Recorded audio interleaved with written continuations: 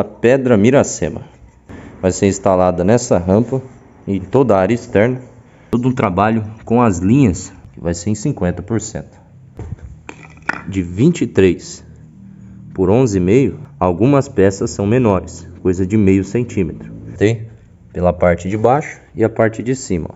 Essa parte de cima estava 3 centímetros fora de esquadro. Então essa primeira peça aqui, eu tirei 3 centímetros dela, para deixar esquadrejado. Aqui ó, tem outra linha, porque a cliente pediu que começasse com pedra faceado da soleira, de fora a fora.